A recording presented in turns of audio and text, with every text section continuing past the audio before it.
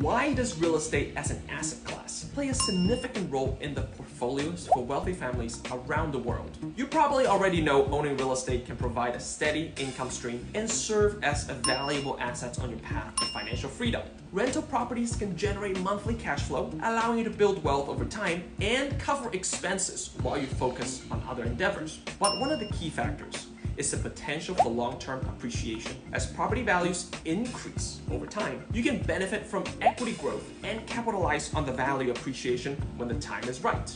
Real estate also allows you to leverage your investments. With the help of a mortgage, you can acquire properties with a relatively small upfront investment, amplifying your buying power and potential returns. Here's the secret sauce many investors overlook.